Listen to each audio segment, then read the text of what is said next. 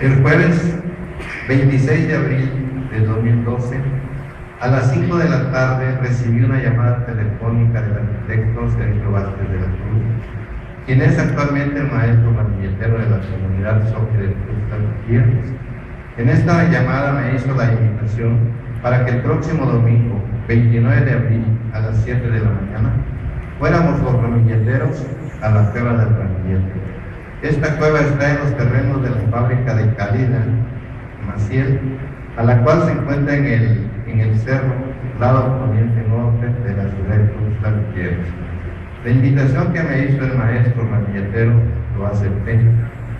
Por tal motivo, hoy, 29 de abril, me levanté de dormir a las 6.15 de la mañana e inmediatamente me fui alistando para irme al encuentro con mis compañeros ramilleteros.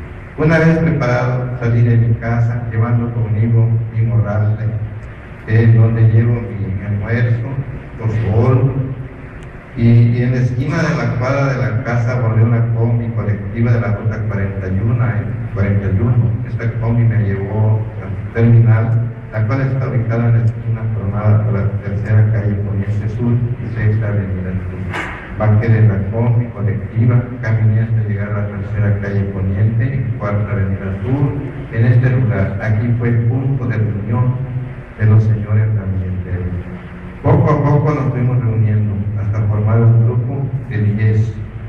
A las 7.30 minutos el maestro ramilletero nos dice, considero que ya es hora de que nos vayamos. E indicó que abordáramos una combi de la ruta 9 nos acomodamos en esta y nos llevó por el rumbo de la colonia Pumarosa. Esta colonia está al poniente norte de tierra. Una vez abordada la combi, acomodamos, acordamos con el chofer que nos llevara lo más que pudiera acercarnos a la orilla del cerro. Y el chofer aceptó, nos llevó a la entrada, donde están construyendo un módulo habitacional llamado Valle Dorado. La combi ya no pudo pasar porque la calle está bloqueada con una malla gruesa de acero. Le pagamos al chofer de la combi 20 pesos más.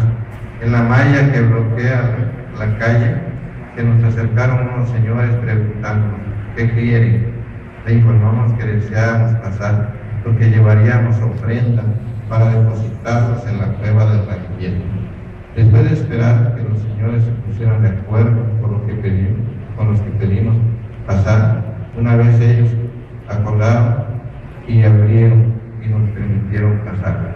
Pasamos todo el, el fraccionamiento de, oriente a poniente, llegamos al final del terreno del fraccionamiento, saltamos una pequeña barra de piedras y continuamos caminando en un camino de terracería muy pedregoso. Caminamos una buena distancia hasta llegar a un aguajito muy, muy precioso este aguajito. Aquí en este lugar nace el agua. Está precioso este lugar. Al pie del manantial, sobre una piedra grande, hay una cruz de madera pintada de color verde. En esta cruz dejamos un pollón aquí y, encendimos una veladora. El maestro ramilletero nos, nos guió en decir algunas palabras en oraciones el que sabe soccer lo dijo en soccer, los que no sabemos soccer, repetimos lo que decía el maestro. Al mismo tiempo que también pedimos que nuestro Señor nos envíe este año una buena lluvia, y parece que sí lo logramos. Ah, para la buena lluvia para que haya buenas cosechas y el pueblo no tenga que padecer hambre. Le pedimos por la salud los presentes de toda la comunidad de Cruz. Una vez las hechas las oraciones hacia Dios, bien pegada a las ofrendas, nos sentamos alrededor del manantial para almorzar. Después de que almorzamos, recogimos nuestras cosas, caminamos hacia el cerro por la parte de atrás de este, donde está la tradicional cueva de la Chepa. Continuamos en una pequeña vereda en la falda poniente del cerro. Después de haber caminado un buen tramo, como un kilómetro más o menos, llegamos a una acantilado en donde como a 5 metros de la base del acantilado está la imponente boca de la cueva del Candillete. Llevamos una escalera y dos, y dos guiatas, las cuales nos sirvió para escalar y poder llegar a la entrada de la cueva. Uno a uno fuimos subiendo y llegamos a la entrada de esta cueva. Una vez reunidos los diez ramilleteros que fuimos, preparamos las lámparas de pila seca, el brasero con estoraje y brasas, las velas y una veladora y el coyonaque que llevamos ya preparado. Caminamos hacia adentro de la cueva, una distancia aproximada de 25 metros, en donde hay una curva hacia la derecha. Dicha curva no permitió ver el interior de la claridad de la entrada de la cueva. Llegamos a una repisa natural de piedras en, el interior de la cueva. Esta sirve de altarcito. El maestro ramilletero colocó una cruz en el altar. Sobre la cabeza de la cruz amarró el coyonaque y se adornó con ensartas de flor de mayo, al igual que la cruz del manantial. El maestro pasó el saumerio en cruz frente al altar encendimos veladora y seis pequeñas blancas de cera. Después de haber preparado todo esto, el maestro el altar nos acercamos hacia, hacia el altar y formamos un semicírculo y comenzamos a rezar. O, y ofrendamos lo que llevábamos, lo, principalmente lo ofrendamos a Dios pidiendo que en este año nos envíe buena lluvia para que nuestro pueblo no sufra.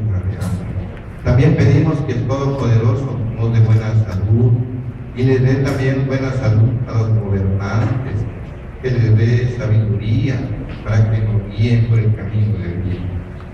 Todo este ritual lo, hicimos de pie. Luego después el maestro ramilletero nos fue rameando con albahaca a todos los ramilleteros por orden jerárquico en nuestra comunidad. Allí presentes. Una vez hecho esto, el maestro nos indicó que ya nos fuéramos y así lo hicimos. Salimos de la cueva, bajamos, de bajamos el cerro con ayuda de lazos y escaleras. La pendiente es bastante resbalosa por las piedras que están sueltas y las hojas de los árboles que están tiradas. Se cayeron dos compañeros, entre ellos el maestro Ramírez. Salimos de la cueva y regresamos al manantial, descansamos un ratito, tomamos agua fresca y agradable del, manantial e inmediatamente emprendimos el camino de regreso. Salimos al soleado camino a las doce y media.